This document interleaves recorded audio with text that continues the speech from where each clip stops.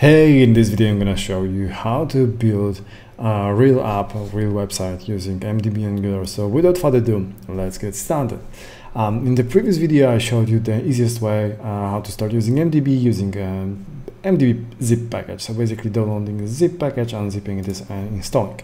Today I want to show you more convenient way um, which allows you both uh, to initialize and publish your project. It also allows you to create a database. So um, basically you can build the full um, app, right? I mean the backend and the frontend. So um, let's start with installing um, MDB CLI because this, this, is the tool we're gonna um, use today. Um, in order to install MDB CLI, we have to have Node and npm installed. So if you don't have Node.js yet, please navigate to node.js.org and download mm, the latest version, install it. I'm not gonna do that because I already have it on my computer, but basically it's available on all platforms, including macOS, Unix, and so on. So just download the recommended version, and once you have it, simply go to mdbgo.com and run this command. I'm gonna do it for you so you could see how does it work.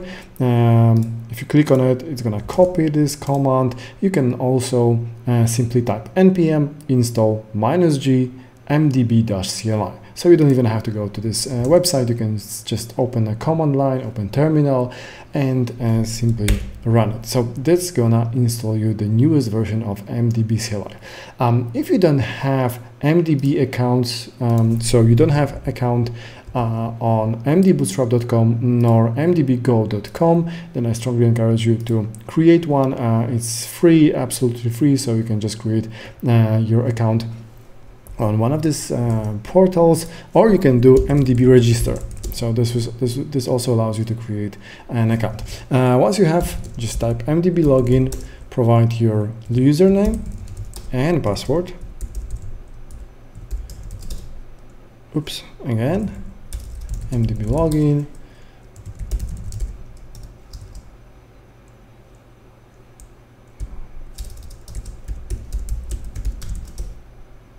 Yeah, so now I'm logged in.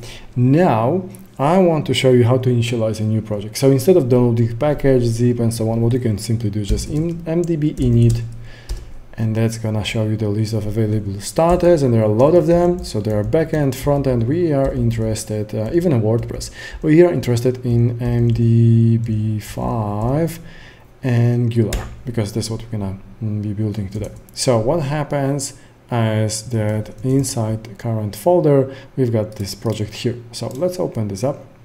Open with code and let's start building our app. Uh, meantime i'm gonna get into this folder and type npm install. So that's gonna install me all the dependencies. So as you can see i'm gonna get uh, the uh, node module folder here uh, inside this. So now it's checking the dependencies. It will install it um, meantime what I want to do uh, I'm gonna show you here is node modules now.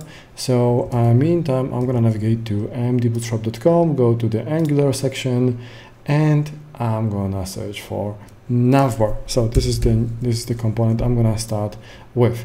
So here you have all the documentation you have different examples mm, which you can use. So for the navbar you have a basic example but you can use the one with a brand which is a brand of your company logo um, you know breadcrumbs badges uh, avatars and, and many different options. So simply just choose uh, whichever you prefer it's still installing. So what I'm gonna do I'm gonna copy this one. Mm. at the same time I'm gonna open a new command line over, here uh, because I want to uh, generate a new component.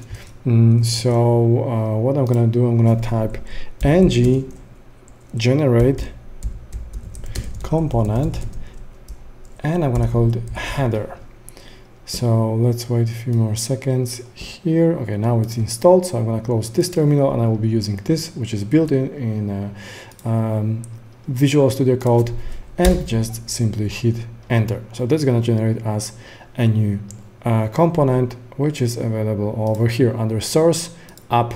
And here we have app component. So this is our starting component and a header, which we just created. So what we want to do, we want to copy this code of the navbar, we want to go to our header um, and we want to uh, basically paste it over here inside our header. Now, uh, our header was automatically added to app component um, app module TS. So it's header here, header component import statement has been added automatically, declaration and imports. Um, so uh, let's go to our app component and let's run npm run or start actually. So this is gonna compile our app and we will be able to see our app uh, in the live preview of um, in the, our browser. So uh, let's see how the starter looks like and we were gonna what we're gonna do we're gonna replace this part with uh, our header so we'll start building our website mm, with the header so mm, let's wait for a few seconds yeah now it's ready so we can open our server here. And this is starting page so this is the default one which you get when you when you open a starter. Let's get rid of it and uh, let's start with uh, app header because this is how our component is called. If we um, if we go here selector by default is app header. Obviously you can change it. Mm, now let's see what we're gonna have here. So this is our navbar, right? You can see it here. Um, let's do a few modifications here. So what I want to do, uh, I want to get this uh, fluid, get rid of this fluid. So this will basically make this container here. Mm, what else we have? Uh, let's uh, let's work on uh, on a color. So I want to change the color of this navbar and we can do it by changing this class. So bg light i'm going to change it to bg white actually. And let's quickly start stop here. So let's go to colors. If you go to navigation colors uh, you're gonna see that you have different colors available. So for example we could have bg warning. And this gonna use predefined a color. Let's stick to white. uh, one uh, okay, let's continue. Uh, what we can add to our um, to our um, website? Uh, we're gonna have a footer at the bottom, but we're gonna get there uh, in a few seconds. For now, let's add main part. Um, and inside main, let's use uh, a grid. So basically, we are using grid like we would be using this in HTML. So let's have a look at grid system. So we, here we have these examples. If you don't know grid, please do check our other video where we uh, where we teach only the grid, bootstrap grid. Uh, for now, I just want to copy this part. So we have container, inside container, let's have this row. Um, actually, you know what, uh, let me type it from scratch. So I want to have a row and I want to have col md5 and I want to have also col md 7 let me do 5 and a 7 here. And let's refresh the page so it's 5 and 7 and obviously when we shrink what's gonna happen is that they're gonna be nested one below the other right? So the 5 goes below 7 um, or above 7 and obviously the navbar becomes responsive collapsed. So this is how it will be working on the mobile application. Now let's add some content into 5 and 7 part. Mm, so uh, let's go to hover effect. And here you're gonna see this basic example of this picture. So uh, what we can do um, what we can do let me copy this div uh, let's replace this uh, 5 with uh, this hover effect and here it is so you can see that we have this hover effect over here we need some spacing over there uh, but uh, we're gonna take care of that a little bit uh, later. Now let's move to this seven part over here. And for this, um, we're gonna go to typography. Uh, so this is how you basically use different typography with an MDB.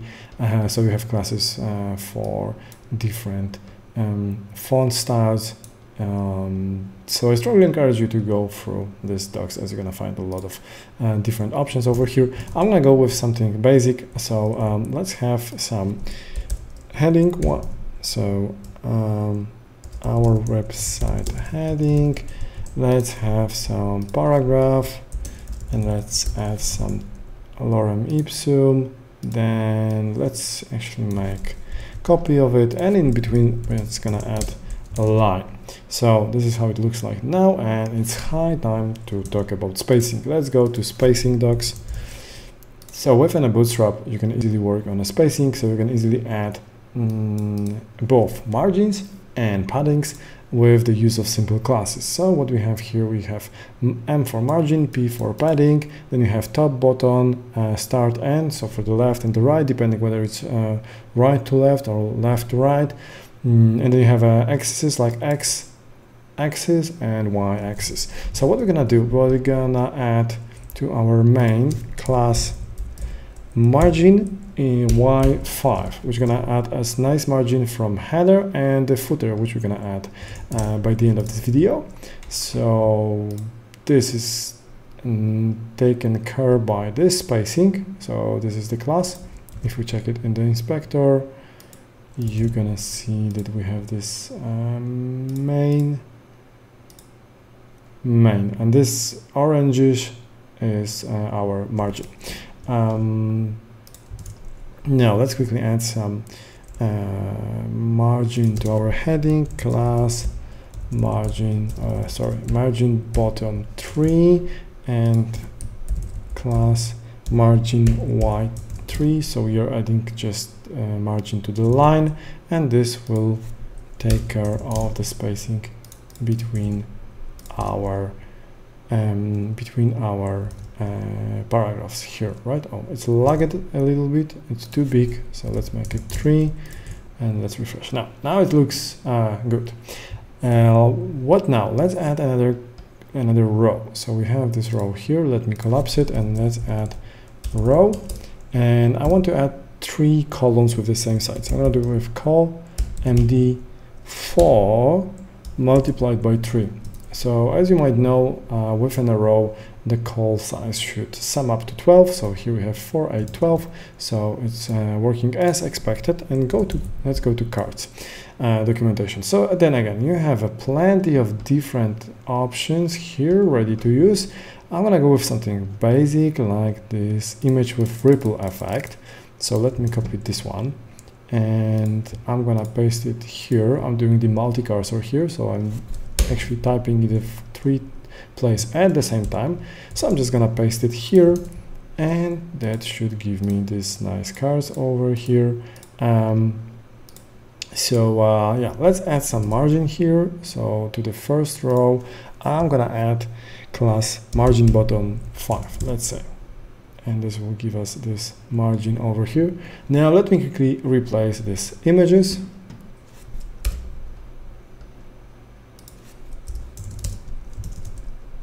uh, just a small change and it already looks better. Mm, now let's add some buttons here. So uh, again, navigate to buttons and I'm gonna use the basic example. So this one button over here.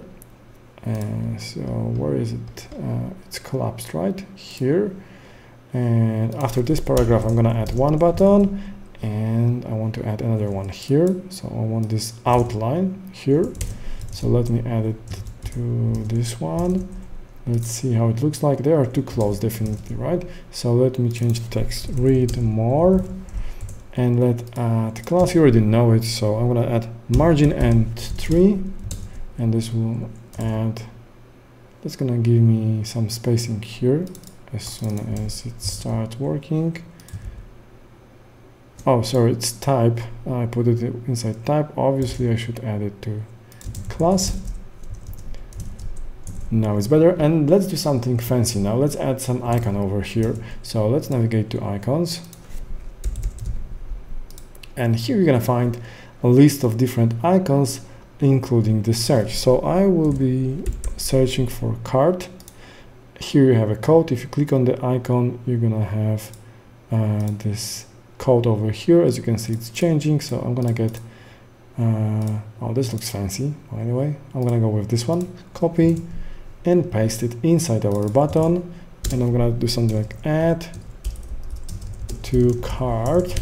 and probably yeah I need some margin here as well so I'm gonna add class over here margin and 2 let's say yeah now it looks cool um, okay now what I want to uh, what I want to do is I want to add some footer. So I'm gonna generate again component. I'm gonna call it footer now. And meanwhile I'm gonna search for some footer. Let's go to footer docs. I'm gonna choose the basic one. I'm gonna go to footer and same as with header. I'm just gonna add like app header. I'm gonna add app footer and let's see what's gonna happen. Oh I should also obviously start npm start so that's gonna compile uh, our project and uh, and then it's gonna uh, start server. Uh, what I also want to do I want to add some to our body. So uh, let's go to our where it is index html body i'm gonna add class. Actually let me first show you this. So this is our this is our um, page right now. And let me add uh, bg light to, to the background that's gonna give us a little bit more contrast between the uh, between these elements and uh, and the background. So as you can see uh, we created this page in, in like 10 minutes or something. Now let me quickly show you uh, the very cool part which is deployment. So what you have to do is simply type mdb publish. Keep in mind this angular project, pro project right? So you don't need any special server and so on. Just type mdb publish that's going to ask you which package manager you want to use. I'm to choose the default one and basically it will start doing the magic. So now uh, it's going to try to uh, generate the bundles. Uh, it's going to upload our project onto the web onto the MDB Go servers. Again, it's totally free, so uh, uh, please do not hesitate to give a try. So as you can see, it just compiled, now it uploaded, and now it's available here right away our page is up and running on the internet secured with SSL so you can quickly send your uh, project to the customer to your mates team colleagues from your project. You can even give access to the repository because this project has its own repository if you go to mdb go uh, mdb go.com and navigate to your dashboard. Obviously, after you log in, uh, you're gonna see that for each project, you uh, can have a repository. You can create the repository here, and then you can uh, give access to other uh, friends or colleagues uh, so you could both work on the same project. I hope you enjoyed it. If you have any questions, please don't hesitate to ask us. Uh, we'll be happy to help you. Thank you for watching and keep coding.